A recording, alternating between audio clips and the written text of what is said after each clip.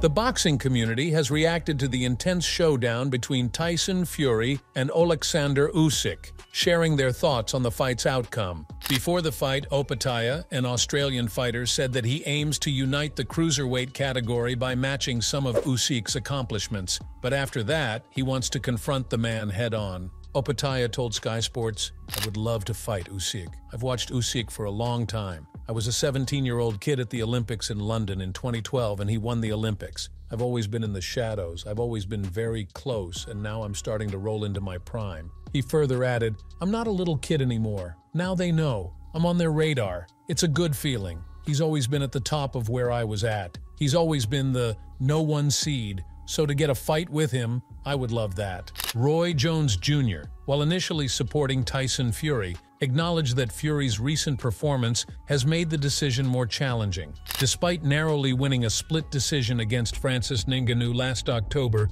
Fury's lackluster showing raised doubts in the boxing community. Before Fury's bout with Usyk, Jones Jr. commented on how that performance led many to question Fury, but he still believes Fury can emerge victorious.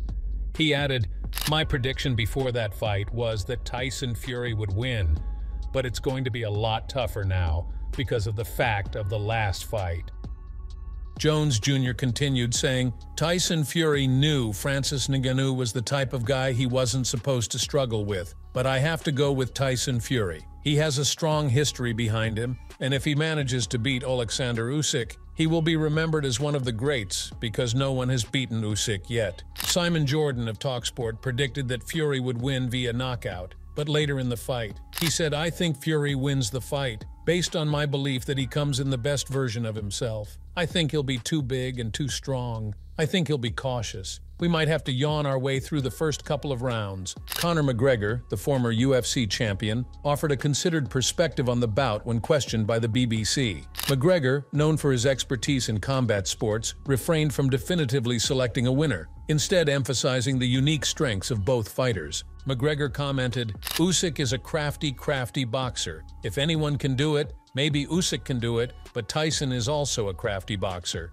Plus he has the size. Tyson is a tough man to beat in the boxing arena. Fury's ring intelligence and adaptability have been well documented throughout his career, contributing to his success against a variety of formidable opponents. According to McGregor, one of the main advantages in Fury's favor is his imposing physical presence.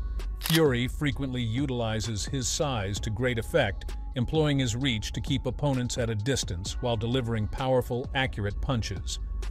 During an interview with TNT Sports, George Groves, a former super middleweight champion, highlighted Usyk's intelligence and technical prowess. Groves suggested that these qualities would likely prevent Usyk from being overwhelmed by Fury's size and strength. Groves said, I think Usyk is far too smart to fall into that trap of having the bigger guy lay on him and use his size against him. He praised Usyk's ability to maneuver around the ring, emphasizing his exceptional skill in cutting angles. This tactical movement enables Usyk to land multiple punches from advantageous positions while evading potential counters from his opponents. Groves added, he cuts out at amazing angles. He can himself into angles where he can touch you three, four, five times before he gets that power shot in.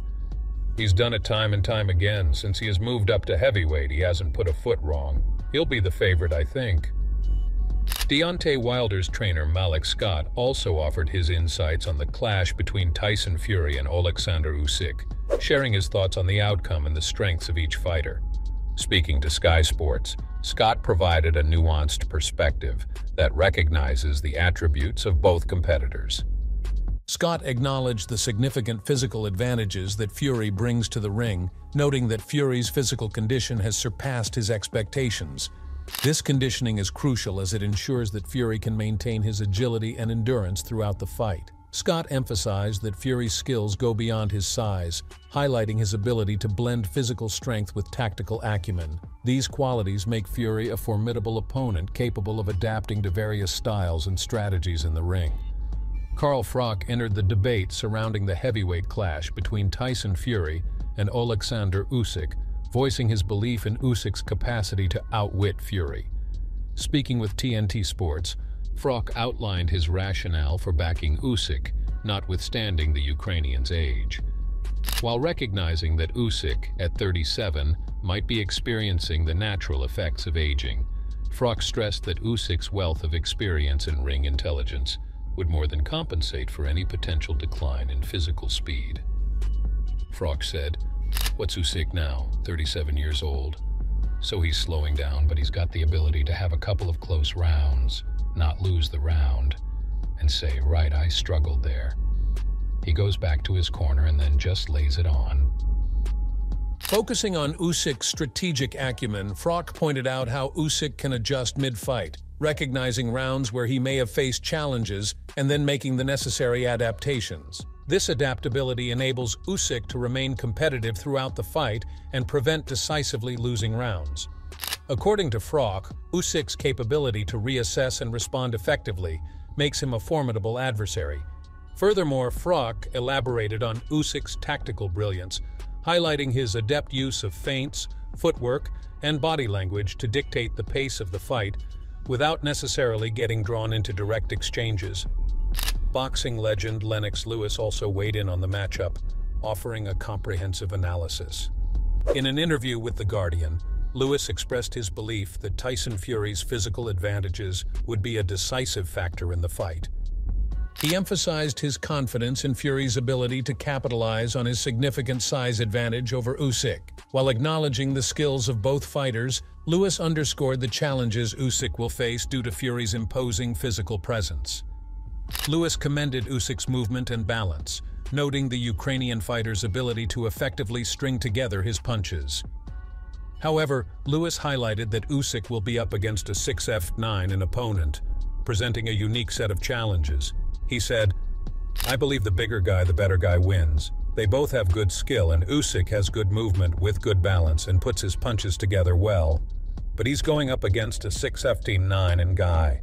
And for me, Tyson Fury is very elusive, even if he is so big. Lewis described the fight as an intriguing matchup, given the technical prowess of both boxers. However, he emphasized his belief that when fighters possess similar technical skills, the larger one has a distinct advantage. This perspective from Lewis added depth to the discussion. He elaborated, saying, If Tyson makes you miss, he makes you pay. It's an interesting matchup, but I always say if two guys have the same technical skill, the bigger fighter wins because he can impose his size on the other guy. On the other hand, David Haye highlighted the technical brilliance and strategic adaptability of both fighters. In an interview, Haye dissected the nuances of the fight, offering a detailed prediction that highlighted the strengths and challenges each fighter brings to the ring. Haye began by acknowledging the cerebral nature of the matchup. He elaborated, noting, both are very smart, both can adapt, underscoring the high-level boxing IQ possessed by both Fury and Usyk. Their ability to adjust strategies mid-fight and respond to their opponent's moves is a testament to their elite status in the heavyweight division. Moreover, Haye highlighted Fury's resilience and ability to endure punishment, suggesting that Fury's durability might allow him to be more aggressive in the early rounds. Fury's capacity to absorb blows and remain effective could give him an edge in maintaining pressure and seizing opportunities as they arise. However, Haye tempered his assessment with a cautious outlook on the fight's outcome. He conveyed his belief that the bout would be highly competitive and could go the distance. This forecast acknowledged the difficulty of decisively defeating Usyk, whom Haye referred to as the master boxer. Meanwhile, Oscar de la Hoya also provided his perspective on the bout, highlighting the similarities between the two fighters while ultimately favoring Tyson Fury. Speaking with conviction, De La Hoya compared the skill sets of both heavyweights emphasizing their shared attributes and Fury's advantages due to his physical stature. De La Hoya began by drawing a direct comparison between the two boxers, stating, I think Tyson Fury is the bigger version of Usyk. This observation underscores his belief that both fighters possess similar abilities in terms of technique, agility, and ring intelligence. By likening Fury to a larger version of Usyk, De La Hoya highlights the unique challenge that each fighter presents, both are known for their ability to outthink and outmaneuver their opponents, combining technical prowess with strategic versatility. Expanding on the similarities, De La Hoya noted, he has speed, he has power, he's very versatile. These qualities are hallmarks of both Fury and Usyk's fighting styles. Fury's agility and quick footwork are particularly notable given his size, allowing him to move with unexpected fluidity that often surprises his opponents. His power, combined with his reach, makes him a formidable force in the ring. Similarly, Usyk's speed and precision have been instrumental in his rise through the heavyweight ranks, enabling him to dominate his fights with a blend of tactical acumen and physical dexterity. Despite acknowledging Usyk's skills, De La Hoya ultimately leaned towards Fury as the likely victor. So that's all from this video. Don't forget to share your thoughts in the comments section below. Thanks.